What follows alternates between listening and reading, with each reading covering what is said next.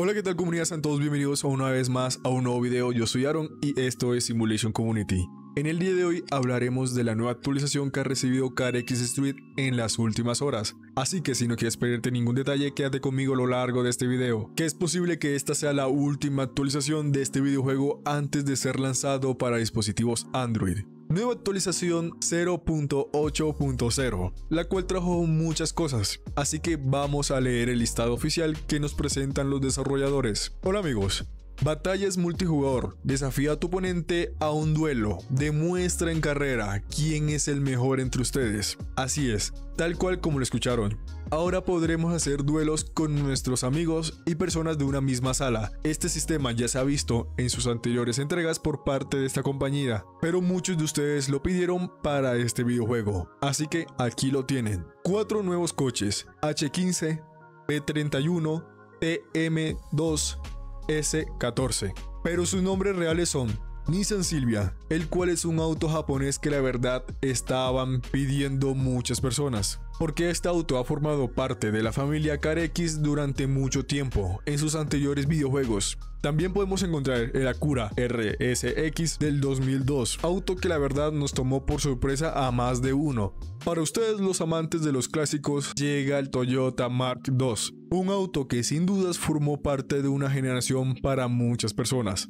Pero aquí no acabamos con la lista de los clásicos, porque añadimos al clásico deportivo BBW 840 CI, o más conocido como E41, un BMW de la serie 8, que sin dudas marcó un antes y un después. Y también lo tenemos en su versión premium, la cual tendrás que sacar tu tarjeta de débito o crédito para poder comprarlo. Siendo sincero, estos nuevos cuatro vehículos sin duda son de las mejores implementaciones de los vehículos que hemos podido ver en los últimos meses. Ahora, sigamos con más. Indicadores agregados de la ubicación de los rivales en carrera te ayudarán a comprender de qué lado el enemigo puede adelantarte.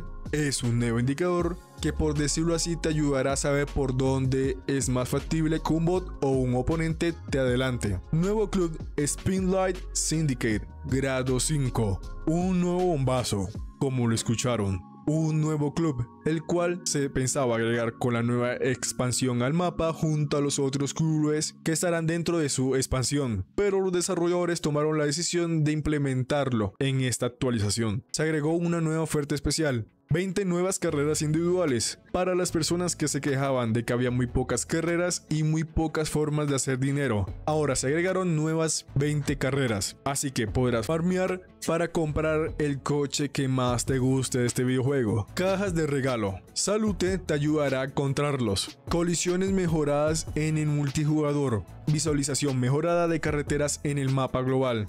Optimización y corrección de errores. Junto a estos tres aspectos anteriores, el videojuego por decirlo así, soluciona un 20% de sus bugs o errores visuales presentes en este. Así que bien por CarX Technologies porque han estado solucionando los errores encontrados. Hay que decir que les tengo una buena noticia. Esta es la última actualización de iOS antes del lanzamiento para dispositivos Android. Es la información que tengo hasta ahora, pero por ahora no puedo darles más noticias. Solo espero que tengan paciencia, ya faltan muy pocos días para poder jugar este videojuego. Les recordamos que tenemos la opción de convertirse en miembros del canal y también la opción de gracias, lo cual apoyaría Simulation Community. Y bueno, no siendo más, esperamos que les haya gustado el video.